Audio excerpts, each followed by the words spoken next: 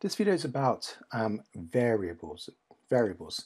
Now, rather than defining it first, it's actually probably a bit easier to see what a variable is, uh, and then you'll get the definition. So as always, we're going to go to GCSE CS, and we're going to go to uh, the coding area, which is located under contact slash more, then code editor. And we click on that. I'll just drag in this uh, partition so I've got just making the coding area a bit smaller and delete these comments. So what is a variable? Well simply if you've ever played a game on an Xbox console uh, a lot of these games use a points or like a scoring system and whoever has the highest score wins okay so during that game you'd like the game to remember what your score is that is an example of an, a variable. Okay, so whenever you ever get points, the points are stored in a variable. So my first question is, well, what would be the value inside the variable when you start the game? What would it be set to? And the answer is, well, zero. And as you play the game, the value would or should increment depending how good you are. If you you know you shoot the bad guys or you collect the gold coins or you score a goal or whatever the game is, your score should change or increase. Secondly, you'd expect the game to remember your score every time it changes. It'd be annoying if you're playing a football game and you score five goals and it says you haven't scored any goals. Okay, so it needs to remember the value uh, every time it changes and then remember it until it changes again. So the next part of it is, well, where does it remember it? And the answer is it remembers it inside the computer in the memory. Well, what memory? Be more specific. RAM, okay? Random access memory looks a lot like this. These are RAM sticks found on a regular computer and it will look like that in a tablet or a phone or whatever device, okay? So variables are remembered in RAM. RAM is the working memory. This website that I'm using to that you're seeing right now is being held in my computer's RAM, which means I can go downstairs, have a cup of tea and a biscuit, come back, and it will still be there because it's been remembered in the computer's memory in RAM. Okay, if there's a power cut and the whole thing switches off, if I boot the computer back up, probably it will have forgotten and I have to go back to the web page. But right now, this web page is being remembered in RAM. I took it, you know, it's been brought to me through the server and through the internet, but it's sitting on my computer in RAM. And that's where these variables are stored in RAM. Okay. So the next thing is, well, not only um, can it store a value, 0 is a value, 100 is value, my variable can also hold an expression. Okay, score plus, let's say 100 points or 100, whatever, 100 points. Okay. Okay, I'm going to run my code. What happens? Nothing happens, but also it does not crash. So my code is good and it's doing exactly what it should be doing, which is nothing. Python knows about my variables, it's just that I'm not doing anything with it yet. So let's do something with it.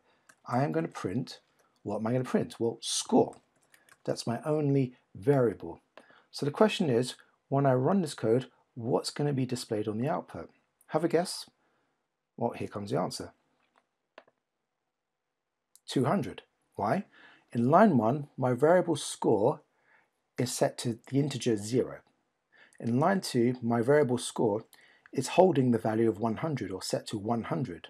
In line 4, my value score is being replaced by the old score, which was 100, plus another 100, which is 200. So this score now, here, is set to 200.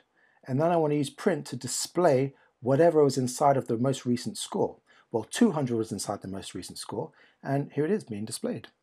Okay. So the next thing I want to talk about is useful identifiers. All right. If I was a rubbish coder, I could call that X. And I say that's bad. That's a useless, uh, that's a rubbish identifier or a rubbish name for a variable because nobody knows what X is.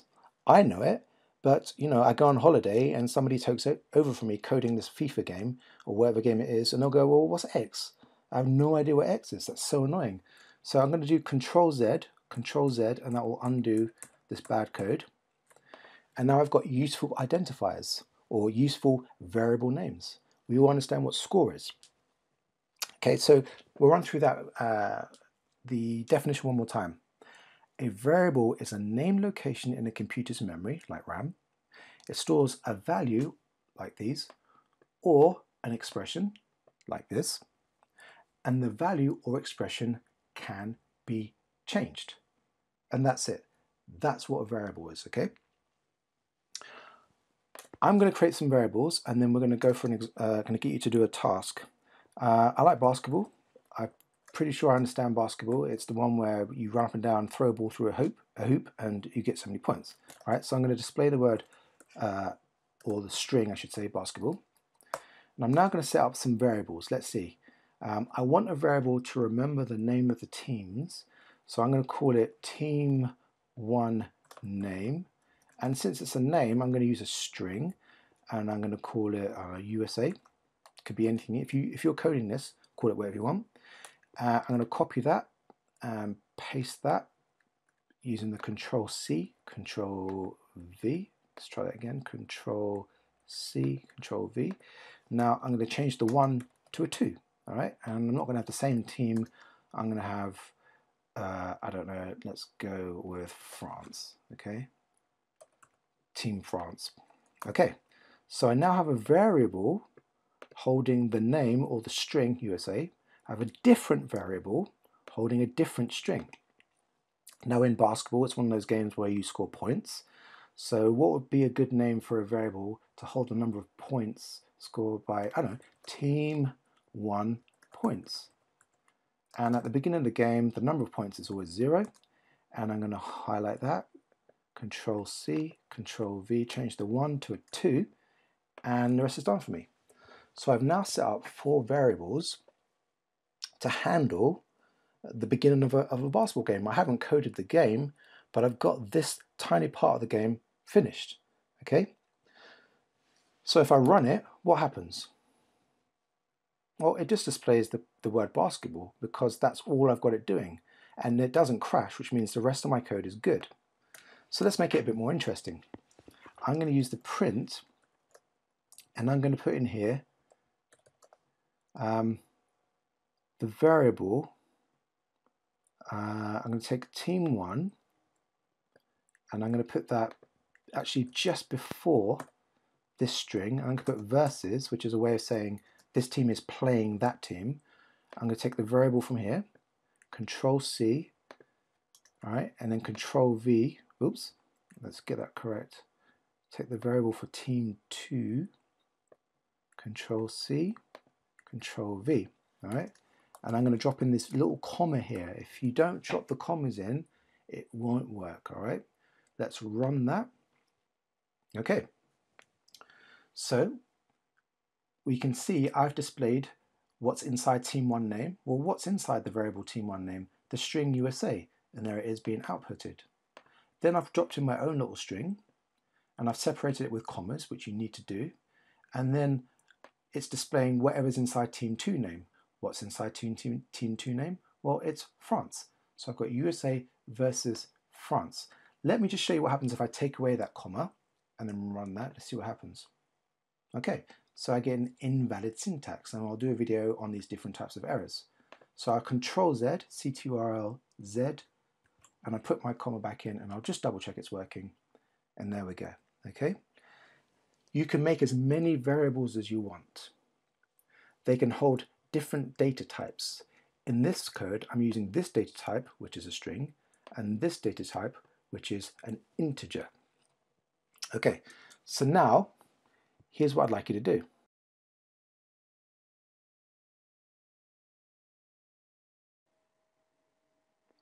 Okay, so have a go at this. Create the following code for a football or a soccer game, right? That's the last time I'm going to call it soccer. Display the title football score. So you should be able to you should be able to use the correct function to display the string football score. Create a variable that holds the name of the first team. And you can call the team whatever you want, like Germany, doesn't matter. Create another variable that holds the name of the second team and call it whatever you want, Brazil, it doesn't matter, any, anything. Create another variable that holds the number of goals of the first team. Maybe they scored two goals, all right? And then finally create another variable that holds the number of goals of the second team. Maybe they've only scored one goal, zero goals, 100 goals, it doesn't matter, okay? So there are four variables here. The last part, which is probably a bit harder, display, now display means use the correct function, I won't tell you what that is, display the score as the first team name, and then put a comma, don't forget the comma, the first team score, then this hyphen or a dash, the second team name, then the second team score. All right, remember to just run your code as many times as you want to check for errors. That's the challenge. Pause the video, have a go. Here comes the answer in three, two, one. Okay, so uh, here is the code that I've written. Your code might look a little bit dif different, but that's fine. That's the beauty of coding. So I'll just paste this in here. Let's check that it works. And there we go. So I've got the title football score, and I've got Germany 2, there's the hyphen, there's a dash, and then 1 Brazil, which is a normal way that you would uh, display the score. And I'll just open that up so we can see the full code. Line 1 has the print function, and it is printing or displaying to the screen the string football score.